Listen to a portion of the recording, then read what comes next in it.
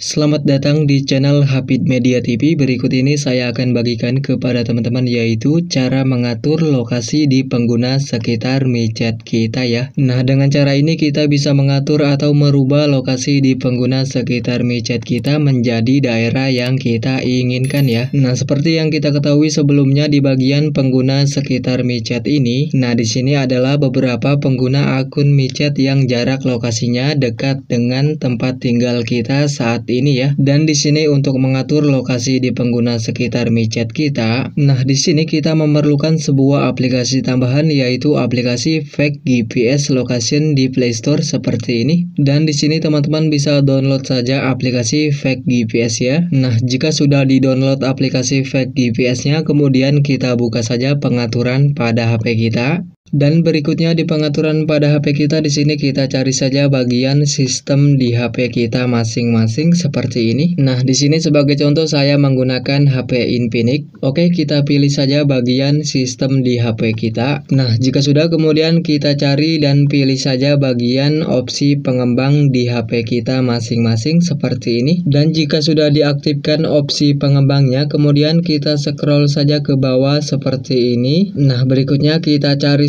bagian atau bacaan pilih aplikasi lokasi palsu seperti ini kita pilih saja. Dan berikutnya jika muncul tampilan seperti ini kita pilih saja aplikasi fake GPS nya nah jika sudah dipilih aplikasi fake GPS nya kemudian kita bisa buka saja aplikasi fake GPS yang sudah di download tadi. Nah di sini pastikan untuk lokasi di HP kita sudah aktif juga ya. Oke jika sudah seperti ini kemudian kita cari saja untuk wilayah negara Indonesia terlebih dahulu. Nah, jika sudah kemudian kita bisa zoom saja pada kota atau lokasi yang ingin kita atur di micetnya. Dan di sini teman-teman bisa pilih saja lokasi di aplikasi fake GPS ini sesuai dengan keinginan teman-teman yang ingin kita atur lokasinya di aplikasi micet kita ya. Dan sebagai contoh di sini saya akan atur lokasi di micet saya ini dengan kota atau lokasi di daerah kota Surabaya ini ya. Nah, jika sudah kemudian kita pilih saja ikon bulat hijau ini.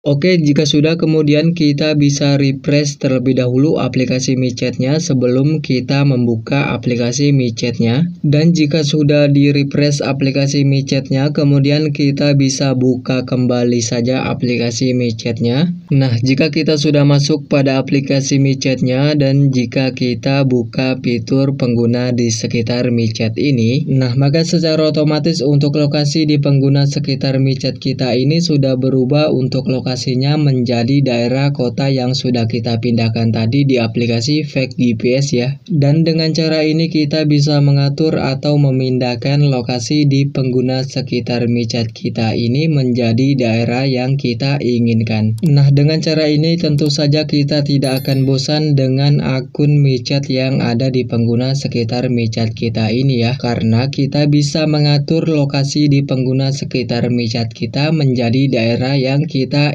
inginkan. Oke teman-teman itu dia tadi cara mengatur lokasi di pengguna sekitar micet. Dan mungkin itu saja yang dapat saya sampaikan. Semoga video ini bermanfaat. Sampai berjumpa di video berikutnya.